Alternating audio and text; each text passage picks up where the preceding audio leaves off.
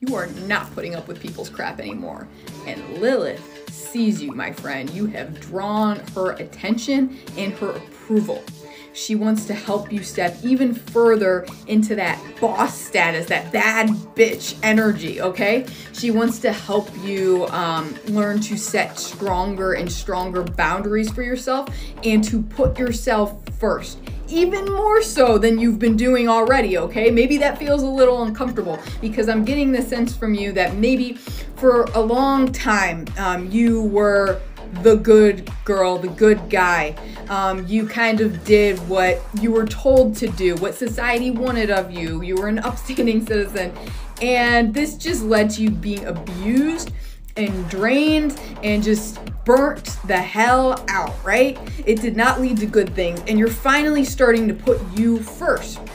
But Lilith wants you to know there are many, many more levels to go. You've just taken like the first little baby step. And so she wants to guide you to take your hand to pull you up to the next level and the next level and the next level. Are you ready? Will you allow her to assist you? She loves you. She is so proud of you. She's just sending you so much love. Can you feel that right now? She's so, so fucking proud of you, okay? Be proud of yourself, she's saying, because you've like cut out people from your life. You've let them just leave. You you're finally saying yes to you, okay? And you are about to be hella rewarded for this.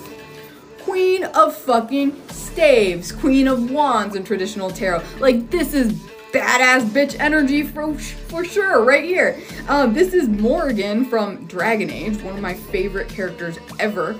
Um, and yeah, this is like all about going off on your own, kind of breaking free, right, from traditions. This starts um, in like breaking free from your your family, your roots. Maybe physically you need to move away from your family because Lilith says these people they're just they keep like sabotaging all your pro- progress, like pulling you back down. Of course, she wants you to know no one can truly stop you. You are an unstoppable force of change, um, but they could slow you. So you might want to worry about cutting that cord there. She wants you to tap into your creative energies, um, your natural creative powers, okay? They're superpowers. This isn't just some magical mumbo jumbo. This they're superpowers. They're how you manifest your reality.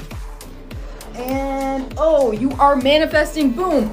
Ace of staves. New beginning. You are manifesting a whole new reality for yourself, my friend. One that is much more aligned for your higher self, for your highest good. Can you feel that? I'd like to work deeper with Lilith. A good place to start would be my What's Your Psychic Super